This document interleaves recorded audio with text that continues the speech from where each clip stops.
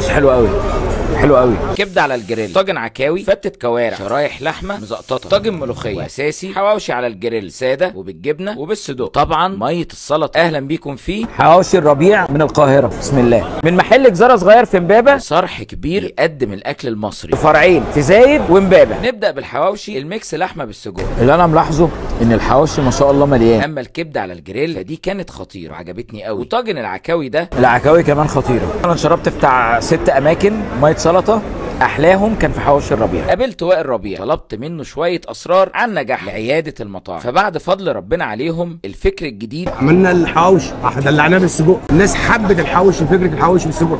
تهتم بمقاديرك وتهتم بشغلك مقادير صح بنسب معينة. اهتمامهم بكل زبون جاي عندهم. لو أنا مثلا جالي 10000 زبون في الأسبوع ده أنا حافظ عليهم. لو مش بال 10000 دول 100 يبقى زعلان. حبهم لشغلهم ولزباينهم. كن سعيد وأنت شايف طبعا. الناس قاعدة شايف مبسوطة الناس كده. مبسوطة بتقعد بتاكل مبسوطة وقايمة مبسوطة ده بيسعدني. والأهم من كل ده اهتمامهم بالموظفين. والله العظيم ثلاثة لو أنا مشيت من عندي مثلا عمال أقسم بعز جلالة الله هم بياخدوا رزقهم معاهم. والله العظيم نص الشغل بيروح. سبحان الله سبحان الله. إنما أنت لو هو هو نايم وهم موجودين زي ما هم هو ربنا بيبعت لهم رزقهم. أما عن متابعتهم لعيادة المطاعم دي معلومات بتعجبني جدا. كنت أنت عامل حلقة لازم تفتح قبلها بأسبوعين أيوة. وأنا كنت شفت هشتغل على طول. استنيت. آه، أسبوعين ثلاثة لغاية لما كل واحد عرف هو بيعمل إيه.